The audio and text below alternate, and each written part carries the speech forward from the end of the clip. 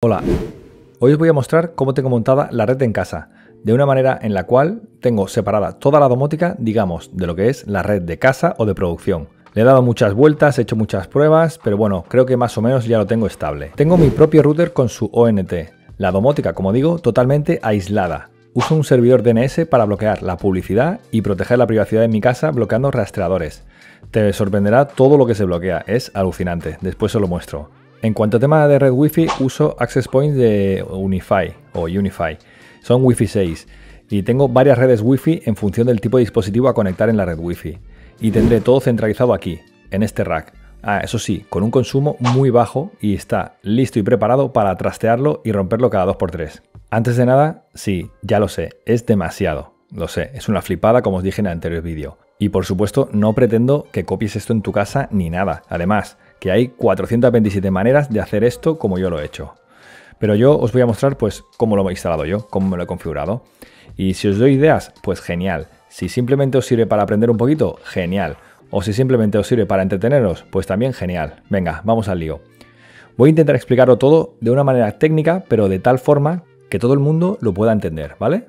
Bien, pues aquí tenemos el rack, que lo puse en el sótano. Lo compré hace unos meses de segunda mano en una empresa y nada, pues si abrimos la puerta vemos todos los dispositivos que tengo. Pues encontramos por la parte de arriba unos cuantos switches, seguidamente un grabador NVR para las cámaras, un router, sí, este es mi router, luego os lo cuento. Aquí tenemos también el servidor para Home Assistant y aquí tengo mi nuevo servidor o HomeLab, ¿vale?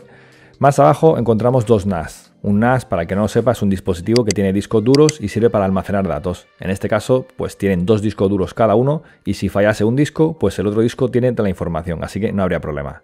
Vale, antes que me digáis nada, sí, ya sé, tengo que peinar los cables y etiquetarlo todo, pero es que todavía no lo tengo acabado. Aunque tengo todo documentado, eso sí. Sé dónde está conectado cada cosa, qué hay conectado en cada puerto y a dónde va cada cable. Todo lo tengo documentado. Pero sí, lo ordenaré un poquito, eh, peinaré y todo. Ah, y todavía me falta el SAI, que aún no me ha llegado. Por aquí arriba en la pared, como podéis ver, pues tengo la central de la alarma, la de Ajax. Tengo un hub de Philips Hue, un hub ZigBee y el ONT para la fibra. Ah, bueno, también tengo el iHost de Sonoff. Y tengo un dispositivo pues, para hacer pruebas con Home Assistant y todo esto. Tranquilos, que aunque no lo parezca, esto no gasta mucho. Quizás hasta os vais a sorprender del consumo. Porque sí, su consumo actual, como podéis ver, ronda entre los 110 y 120 vatios. Ya solo los fluorescentes que tenía antes aquí, que no eran de LED, gastaban más que todo el rack. Pero bueno, venga va, empezamos. Vamos por el principio. En casa tengo una conexión de fibra de Lowy, que Lowy es la low cost de Vodafone. Cuando me instalaron la fibra, pues me pusieron este router, que también lo usa Vodafone. Y además me pusieron esta ONT o ONT de Nokia. Primeros conceptos. Cuando nos instalan la fibra en casa, la fibra, digamos que viene desde la central, pasa por diferentes equipos y llega a nuestra casa y nos conectan la fibra a un terminal similar a este. De ahí conectamos una fibra a un dispositivo llamado ONT, Optical Network Terminal o terminal de red óptica, que es este dispositivo que tengo yo aquí. Vale, hay proveedores de internet que ya te instalan un router con el ONT integrado, con lo que la fibra se conecta directamente al router, así tienes un dispositivo menos. Bien, pues aquí me llega la fibra y desde aquí me sale un cable de red al puerto WAN del router y a partir de ahí pues ya tenemos internet, tanto vía wifi como por cable de red si conectamos cualquier dispositivo al router por cable.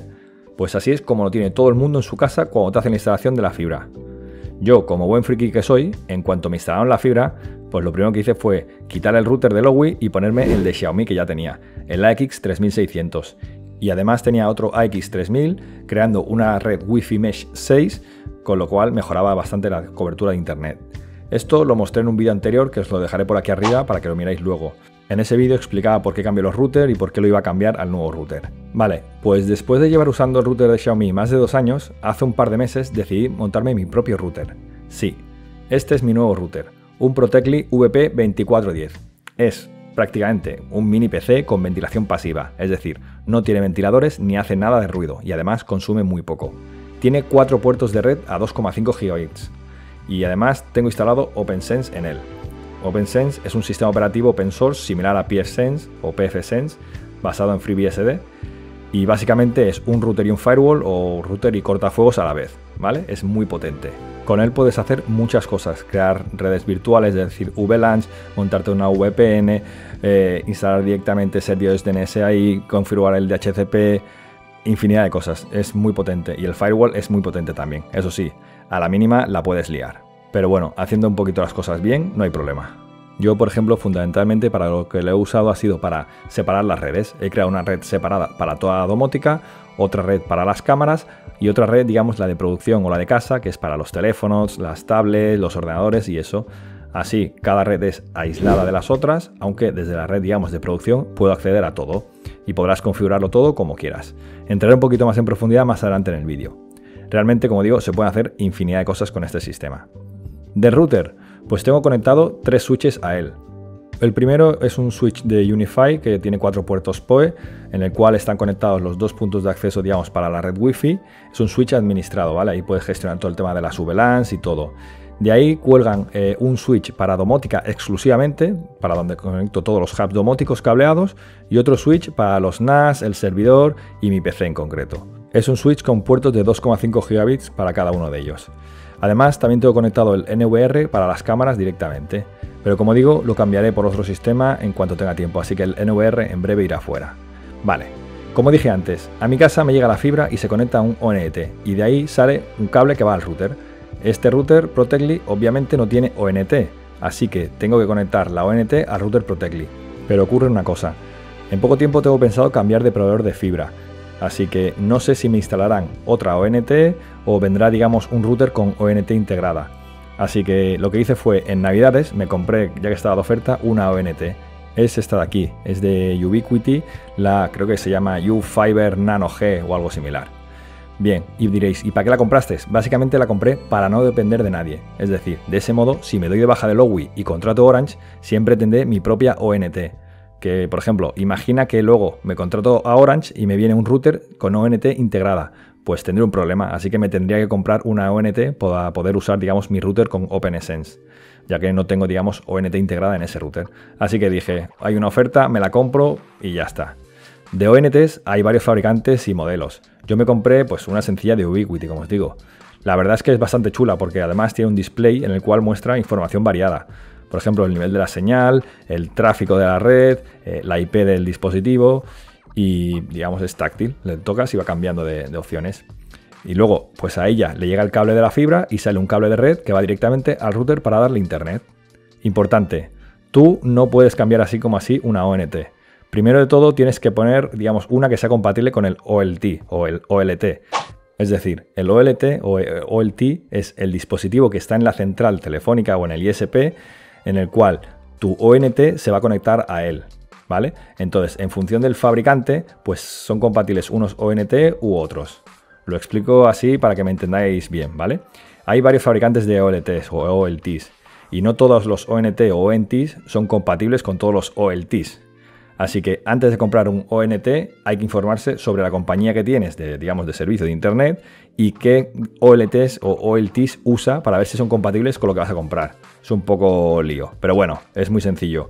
Si vas a cambiar de proveedor o si tienes un proveedor y quieres comprar un ONT, pues asegúrate del proveedor que uses de internet, si usa Alcatel, Huawei, Song, Ubiquiti, no sé, hay muchos fabricantes para saber si es compatible o no, porque si no comprarás uno que no te sirva.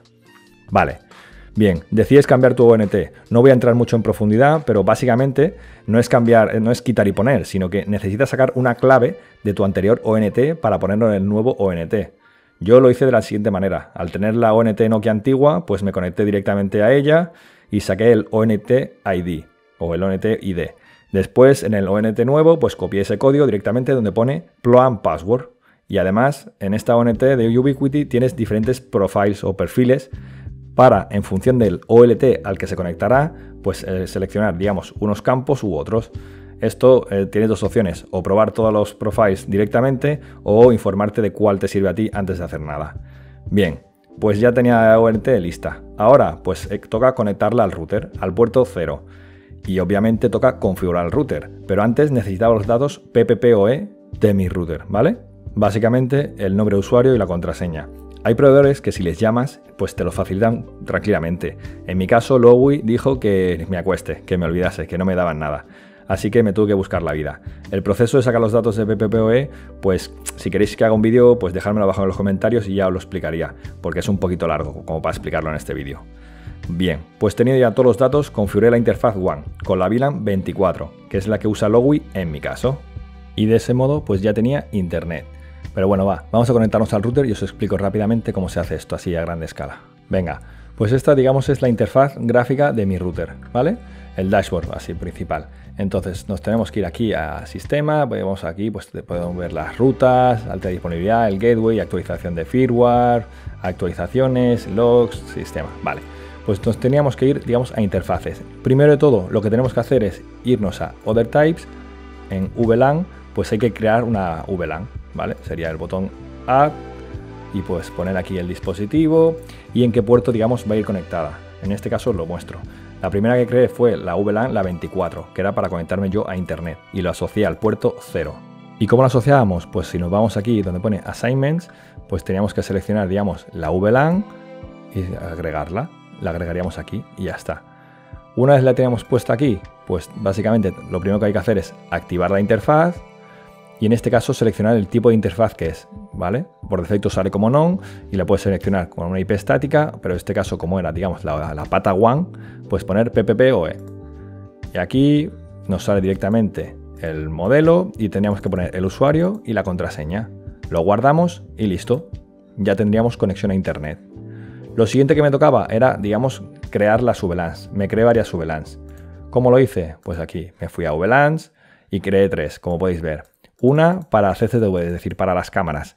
Otra para la domótica. Y otra la LAN, digamos, la de producción. La 50 es la LAN, la 200 domótica y la 100 de CCTV.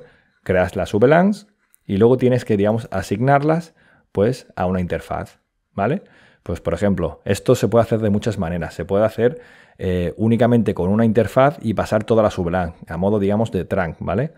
Y en ahí, eh, digamos, por un único cable pasarían, digamos, todas las VLANs. La 50, la 200, la 100 irían conectadas al switch.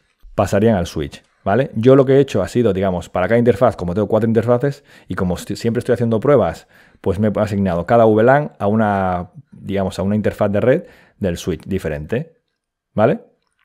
¿Por qué lo he hecho así? Básicamente porque a veces estoy haciendo cambios, desconecto un cable, quito el otro, pruebo otro, quito un switch, me conecto un dispositivo, luego otro, y para no estar tirando, digamos, toda la red abajo, pues me lo he montado de esta manera, para que siempre, si estoy haciendo cosas de domótica, pues que la pata, digamos, donde está conectado toda la LAN, ordenadores, las teles, tablets, móviles y todo eso, funcione sin problemas. O si estoy jugando con las cámaras, que no afecte al resto, ¿vale? Pues yo me lo he montado así, pero a ver, hay 42.500 maneras diferentes de montarlo. Pero bueno, yo lo he montado así. Bien, cuando tienes, digamos, configurada, por ejemplo, la interfaz, como he dicho, la WAN era el tipo PPPoE.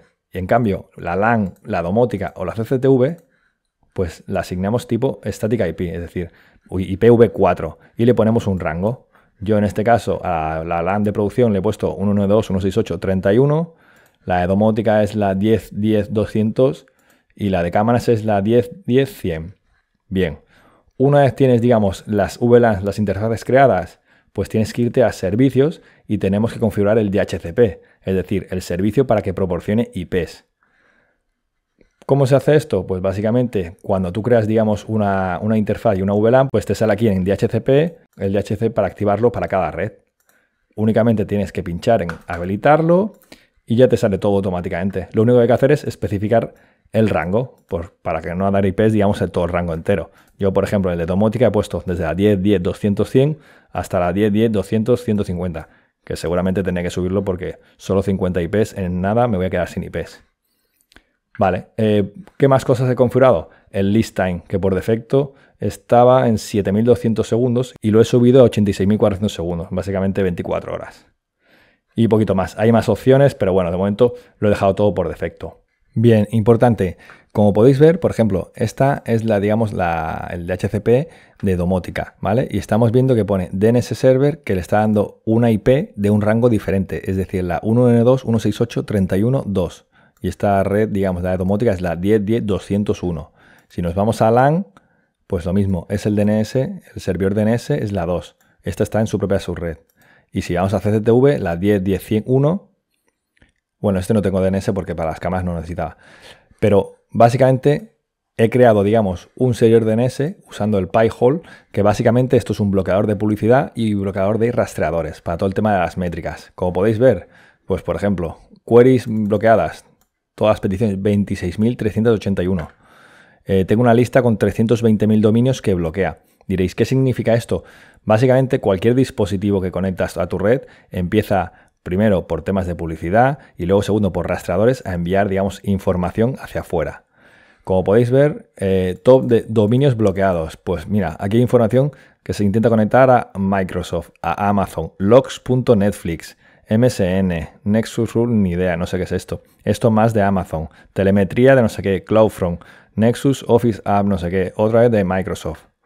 Y como podéis ver aquí, pues puedo filtrar incluso, bueno, esto es digamos una lista, un top, top de clientes que están bloqueados solo. Pues este, este es mi ordenador. Eh, luego este es un dispositivo de domótica, esto es una televisión, dispositivo de domótica, están enviando constantemente. Todas estas son las requests que han sido bloqueadas. Por ejemplo, si nos vamos a queries bloqueadas, mientras carga, pues vemos aquí todo lo que está bloqueando. Mira, telemetría, esto es vídeo, esto es publicidad, esto es publicidad de, de Samsung. Logs Netflix, está, todo esto lo tengo ya bloqueado. Esto es Google Analytics, esto es de Microsoft, Microsoft, Microsoft, Microsoft, Netflix. Y si buscamos, por ejemplo, Samsung, que dirá, Samsung, sí, sí, la televisión, una vez únicamente conectada a Internet, aunque solo estés viendo la televisión, mirar. Samsung Cloud Solution, Samsung Cloud Solution, GMP Samsung no sé qué, Samsung no sé qué, Samsung, Samsung, Samsung NAT, Samsung NAT. Es decir, constantemente está enviando y recibiendo información. Así que os recomiendo encarecidamente que os pongáis bien sea un PyHole o un AdWare o cualquier sistema para bloquear publicidad y rastreadores, porque constantemente está enviando basura eh, vuestros dispositivos. Vale, pues recapitulamos. Mis redes, pues todas, menos la de cámaras, que esa no, tienen usando como servidor DNS lo que es el PyHole. El PyHole lo tengo en el servidor, ¿vale? lo tengo con Proxmox, con virtualización. Ahora mismo todavía estoy migrando todo lo que tengo en el antiguo servidor y de momento solo tengo el PyHole metido en un contenedor y en otro tengo metido, digamos, el Unify Controller. Y diréis, ¿y esto para qué es? Pues esto lo uso para controlar, digamos, básicamente el switch gestionable de Unify y los puntos de acceso Wi-Fi. Os lo muestro, va. Bien, pues esta es la consola, eh, donde tenemos, digamos, el dashboard, pues con los clientes que están activos, los access points y en las gráficas. Si nos vemos a la topología, pues aquí podemos ver, realmente el mapa es un poquito cutre. Vamos a ver, lo intentamos hacer así, lo alejamos un poquito, o lo acercamos, vamos a girarlo. Y podemos ver, digamos, incluso el tráfico. Va mostrando unas gráficas del tráfico, ¿vale? Bueno, muestro los dispositivos rápidamente. Tengo un switch PoE de 8 puertos de Unify, y luego tengo, digamos, eh, los Access Point. Compré tres realmente, los U6 Plus, que son Wi-Fi 6, son súper pepinos, son muy potentes, los usamos en, la oficina y tal, van súper bien. Compré tres, pero al final con dos mm, es suficiente, es decir, me es de sobra. Eh, al final el tercero tengo sin abrir porque pensaba que necesitaría tres, pero lo he sobredimensionado y de momento tengo dos. No sé qué haré con el tercero, no sé si lo pondré o si lo venderé, no sé qué haré. Pero bueno, de momento lo tengo en una caja. Vale, eh, básicamente, bueno, podemos ver, digamos, todos los clientes que están conectados aquí, tanto por cable como por Wi-Fi. Que bueno, por cable, digamos, conectados a este switch y por Wi-Fi a los access point. Los que están conectados a otros switches no lo podemos ver. Podemos configurar, digamos, pues los puertos del switch, eh, asignarle las diferentes VLANs, eh, activar el PoE, digamos, la electricidad, digamos, alimentaros por electricidad. Por ejemplo, los access point yo no los tengo conectados a la corriente, sino que a través del cable red, mediante PoE, se alimentan. Pues los cuatro primeros puertos son PoE. En este caso, por ejemplo, este lo tengo desactivado el PoE, que no de corriente. Pues tengo aquí, podemos gestionar los puertos. Podríamos ver las VLANs y la configuración de los puertos. Si nos vamos a los access points, bueno, pues poquito más. Podremos ver, digamos, en qué, digamos, en qué access point eh, hay conectados qué clientes, qué dispositivos. Por ejemplo, en este, pues del sótano hay unos 24 dispositivos. Y en este que pone arriba, pues hay conectados 19 dispositivos. Eh, podremos crear las redes Wi-Fi. Por ejemplo, yo tengo creadas tres redes Wi-Fi, ¿vale? Esta que pone Exploit Hack, eh, Domo No Internet y cámaras. Cada una está en una VLAN diferente. Así que yo cuando me intento conectar a una red, pues por ejemplo la Exploit Hack es digamos la de producción. La de Domono Internet, pues esta únicamente la uso para domótica. Y esta red no tiene acceso, digamos, ni a, ni a la de producción ni a la de las cámaras. Únicamente tiene acceso al DNS. ¿Cómo hacemos eso? Ahora lo explicaré. La de cámara, pues lo mismo. Únicamente tiene acceso a cámaras y al DNS. Cámaras no tiene acceso a Internet, Domo no Internet sí que tiene acceso a Internet, aunque yo lo he puesto Domo no Internet, y la Exploit Hack tiene acceso a, todo. ¿Vale? Pues podemos crear las redes Wi-Fi, las redes normales con las VLANs, la configuración, hay un montón de historias. Vale, ¿y cómo gestionamos el tema del acceso de una red a otra y tal? Pues lo hacemos, digamos, en el OpenSense. Me voy, digamos, al apartado donde pone Firewalls y en reglas, donde pone Rules. Y aquí pues tengo las reglas pues para cada red. Pues por ejemplo, en la domótica, ¿qué tengo? Pues tengo, digamos, tres reglas. Eh, pues aquí podría crear 25.000 reglas, lo que se te ocurra, pero yo lo tengo sencillo. Al final, como dice un compañero, es de rollo keep it simple. Manténlo simple, porque si no, cuanto más complejo lo haces, que ya bastante de por sí he liado la cosa, cuanto más complejo lo haces, después para los problemas eh, es más complicado intentar solucionarlo. Pero bueno, básicamente, la primera regla es que desde toda la red de domótica, únicamente, es decir, tengo permitido el acceso por UDP, es decir, como es DNS, por acceso UDP al servidor, digamos, al Pi-hole, ¿vale? Para hacer, las, para hacer las consultas DNS. Después tengo una regla que básicamente eh, la red de domótica no puede acceder a la red de producción de ninguna manera. Yo si me conecto a la red de domótica no puedo llegar ni a mi PC, ni a los teléfonos móviles, nada. No tiene manera, está todo capado. Y luego puede acceder a Internet. Por ejemplo, la de cámaras, pues obviamente solo puedo acceder, digamos, tengo una regla para acceder a, desde la red de producción a las cámaras. Y las cámaras no pueden salir a internet ni nada. Porque ahora mismo lo tengo con el NVR. Cuando cambie a un sistema diferente, que no sé si voy a usar FreeGate o si voy a usar algo con Synology, ya veremos cómo lo hago, pues esto lo cambiaré. Y el LAN, pues ahora mismo me permito a todo, tengo acceso a todo. Pensé de crearme una VLAN, una red solo, digamos, de admin, de administración, eh, para mí, conectar mi equipo y, por ejemplo, mi teléfono y eh, algo más, y que pudiese acceder a todo y la, digamos, la red de producción aislarla, que no pueda acceder a nada. Pero al final era liar la cosa demasiado y no sé, quizá algún día si tengo tiempo lo hago, pero de momento lo he dejado así. Obviamente eh, tengo pendiente también el tema de la VPN, aunque ahora mismo no lo necesito, pero para el tema de las cámaras, eh, lo estoy haciendo, digamos, con Cloudflare. Es que os lo mostraré en otro vídeo porque no lo tengo en este servidor y no puedo acceder ahora. Pero básicamente uso Cloudflare, el, Zero Trust o el Zero Trust. Básicamente me he desplegado un contenedor, eh, me he creado una cuenta, he creado una configuración y a través del dominio, pues me conecto directamente a las cámaras. Hacen un túnel encriptado y no necesito VPN ni nada. Eh, me montaré el servidor de VPN que lo puedo montar aquí directamente en el OpenSense para conectarme siempre que lo necesite pues, al PC de casa y controlar cualquier cosa.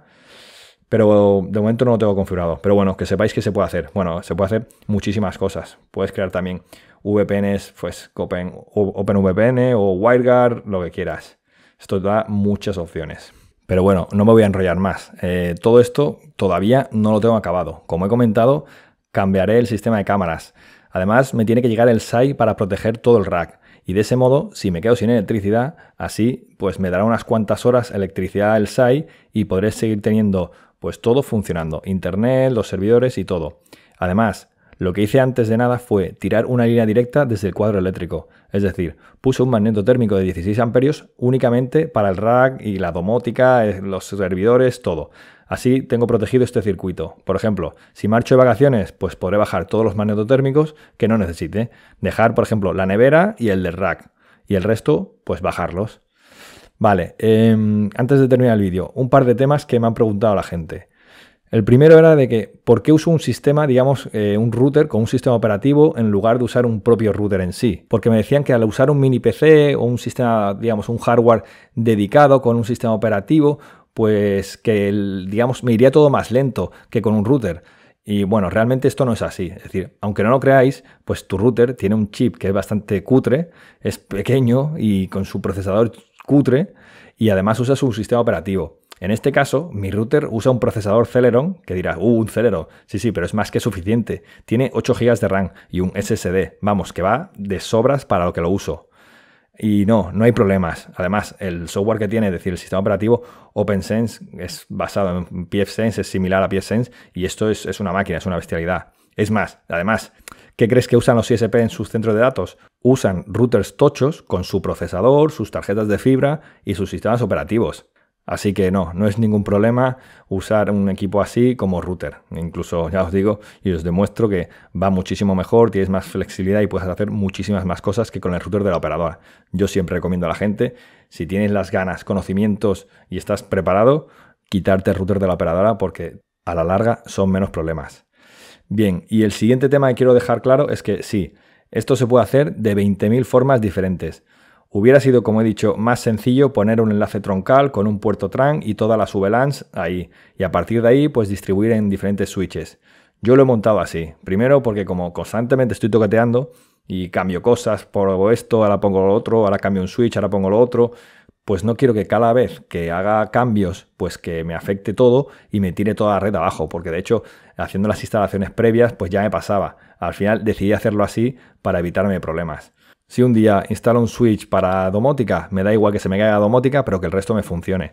Así que me lo he montado de esta manera. Cada uno pues lo hará como quiera. De hecho, me estoy montando un entorno de test de laboratorio para hacer pruebas tanto de domótica como de mi home lab. Ya os digo, yo lo he montado así, que cada uno se informe bien, piense lo que necesite y lo monte pues como mejor le convenga o mejor lo necesite. En fin, esto se me está alargando demasiado. ¿Qué tal? ¿Qué os parece la flipada que me he montado en casa? ¿Interesante? ¿No? ¿Demasiado? ¿Lo haréis de alguna otra manera? ¿Alguna sugerencia, recomendación? Venga, va, dejadme en comentarios qué os parece. Y si queréis más vídeos detallados de algo en concreto, o si queréis el paso a paso de todo, pues si mucha gente lo pide, pues me pegaré la matada y lo replicaré desde cero. Y nada, si habéis llegado hasta aquí, pues venga, dejadme la palabra central. Esa será la palabra del vídeo, central.